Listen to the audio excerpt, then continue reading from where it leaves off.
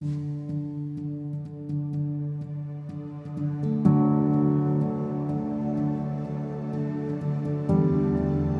my name's Tim Brayshaw and I'm the Moondreamz founder. Moondreamz is an initiative set up through the Royal Children's Hospital that directly supports uh, kids with brain disease. Um, it was a little over two years ago I came up with the idea and um, yeah, I just wanted to support kids and help them and especially sick kids. So Moondreamz has a mission to inspire kids to live their wildest dreams, especially the ones that are in the hospital. Um, but more so just being part of the hospital and knowing that I'm doing the right thing it's uh, makes my heart beat differently to know that I'm helping these kids. And um, yeah, I wouldn't have life any other way now. So that's what I do with Moon Dreams. I volunteer at the RCH because of that feeling of fulfillment.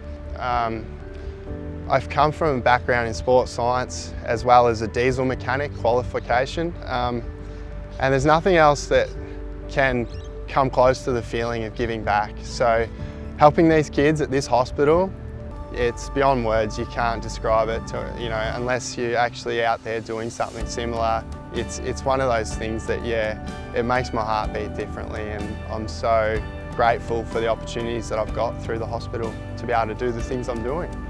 I can see myself being here for a long time now, especially with the relationship I've built with the hospital itself. Um, yeah, it's, it's kind of like my life and my mission and my journey is all rolled into one now and I'm just going to hang on for the ride, so to speak. yeah. The 150 year celebration here at the hospital is absolutely phenomenal. What an incredible effort. The place is like magic when you walk in and it's a really good vibe. So many people with so much hard work and just to see the hospital flourish and who knows what it's in store for the future.